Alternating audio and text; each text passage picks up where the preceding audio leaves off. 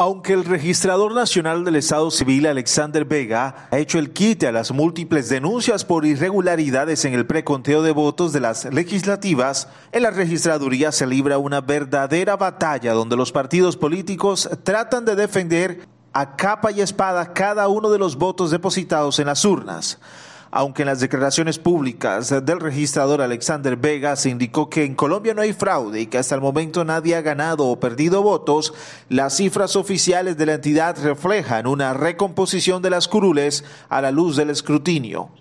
Desde la registraduría indicaron que va un 97% del escrutinio. Faltan 1.558 mesas por escrutar y lo que ha cambiado de momento es que el pacto histórico ha recuperado cerca de 390 mil votos que le permiten llegar a tres curules adicionales, es decir, pasarían de 16 a 19 escaños. Esta colectividad política había denunciado que más de 28 mil mesas de votación en el país no les contabilizaron ni un solo voto.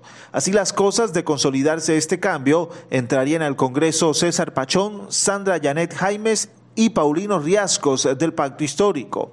Al aumentar curules, pierden otros partidos. Hasta el momento el conservatismo pasaría de 16 a 15 escaños.